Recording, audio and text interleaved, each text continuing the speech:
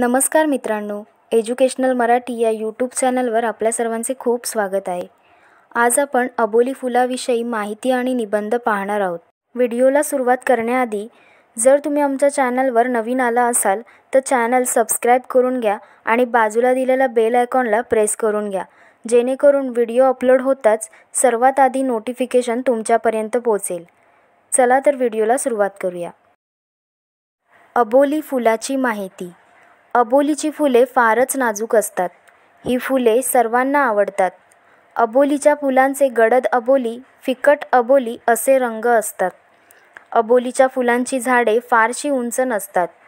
प्रत्येक फांदीला एक आड एक पान असते.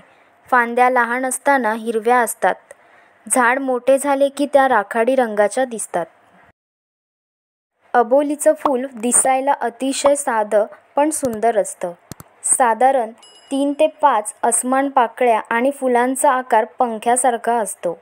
आणि फिकट सफेद रंगाचा लांब दांडा असलेली ही साधारण वर्षभर फुलतात. उन्हाळ्यात याला विशेष बहर येतो. अबोलीची फुले गुच्छात येतात. फुले नाजूक असली तरी पाकळ्या पातळ पापुद्र्यासारख्या असतात. त्यामुळे फुलांवर हलकंसं पानं पाणी मारलं की ती पुन्हा ताजीतवानी होतात. अबोली या झाडाची पाने हिरवीगार असतात. या पानांचा आकार लांबट व उभट असतो. या पानांचा वापर त्वचारोगात केला जातो. फांद्या तपकिरी रंगाच्या असून त्यात फुले शेंड्याला गुच्छात येतात. गुच्छात वरच्या बाजूला कळ्या तर खाली फुले अशी रचना असते.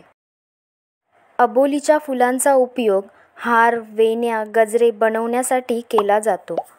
अबोली फुलांच्या बिया या शंकूच्या आकाराच्या व लहान असतात. या शंकूच्या तयार बिया वाळल्या की खाली पडतात. त्यावर पाणी पडून त्यांची रोपे तयार होतात. अबोलीच्या सुंदर रंगांमुळे बगीचांमध्ये अबोलीची लागवड केली जाते. अबोलीची फुलझाडे पुष्कळ लोक अंगणात लावतात. याला खूप पाणी लागत नसल्याने वर्षभर फुलं येतात. आपल्याकडे अबोली रंगाशिवाय पिवळी निळी आणि हिरव्या रंगाची अबोली देखील आढळते. या सगळ्या रंगाच्या अबोलीची फुले खूप सुंदर दिसतात.